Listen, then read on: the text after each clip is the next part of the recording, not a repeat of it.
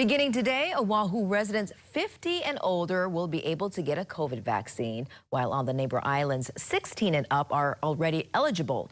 But despite that, the supply is starting to exceed demand and has officials worried. Maui District Health Officer Dr. Lorrin Pang says he's noticing it on the Valley Isle. Because of the rapid spread of variants, he's encouraging Maui residents to get the vaccine after seeing about 400 open appointments just two days after offering the vaccine to those 16 and older. So already we are seeing what they call vaccine hesitancy. If we can get 70%, then the epidemic kind of dies out. It's like no fuel for the fire. It spreads, but it hits immune people and it just peters out.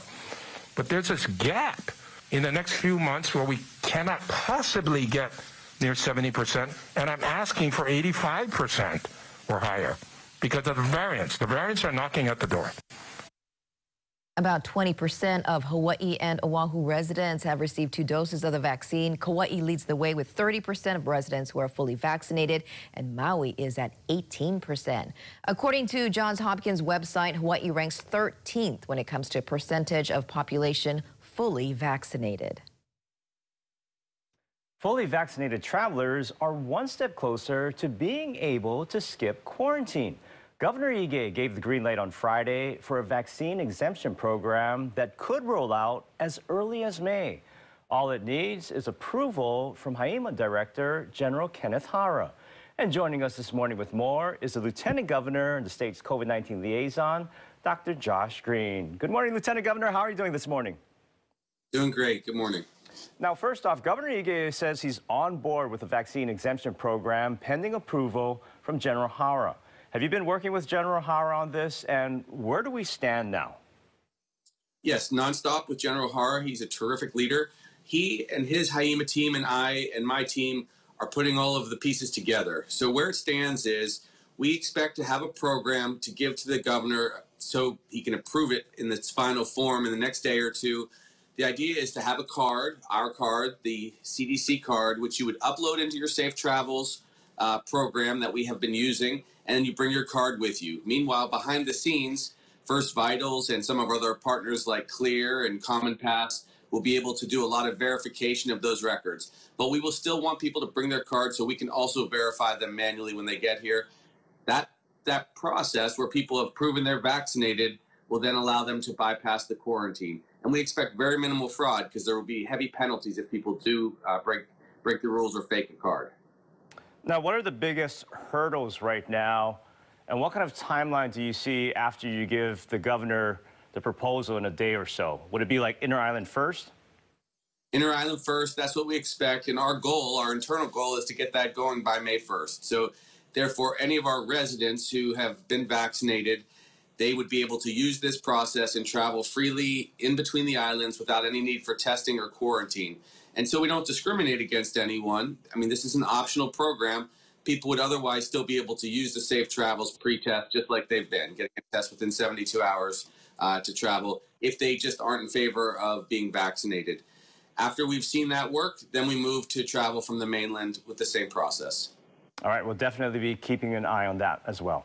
All right, now we're starting to see it on Maui and in some other states, vaccine hesitancy. First off, what is it and will we see it here? Well, vaccine hesitancy is just that people are a little bit undecided about getting the vaccine, and so they're waiting and watching. But as you can see, a lot of shots have, have actually taken place. We will pass the 1 million shot mark this week sometime, probably Thursday or Friday, which is extraordinary for us. That will be more than halfway there for what we're ultimately going to deliver in our state. But the first half of the people were the most eager. And then I think we'll see a lot of uh, eager people getting in line for the vaccine, including Jamie, my wife. She's going to go. I think she wants to go on the 20th after we open wide. Uh, we're going to see again a surge as we go to age 50 today, and everyone is open next Monday. But then it usually drops off because you get into a group of people that are a little bit more on the fence.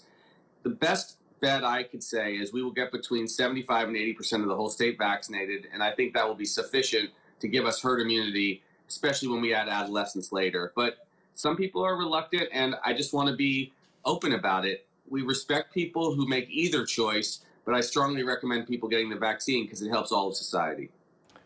What type of solutions do you expect maybe like, because I've seen some other states where people are going door to door to try and promote the vaccine shot.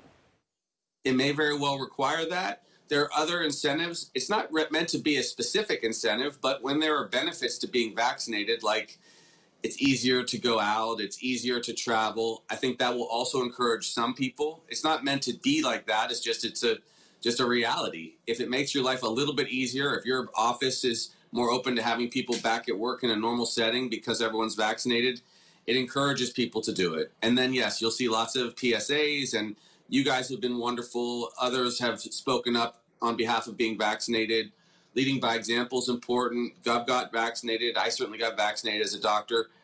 It is safe, but you know, not everyone believes in it, and that that's their prerogative. Over time, you will see us get to an adequate herd immunity. And overall, I've been very happy. As you mentioned, uh, Johns Hopkins showed that we were, I think, 13th. Uh, another study showed that we were 10th in the country getting it efficiently done. It just has not resulted in any bad side effects or fatalities, knock wood. So I think we should all get vaccinated. All right, there you have it, the Lieutenant Governor.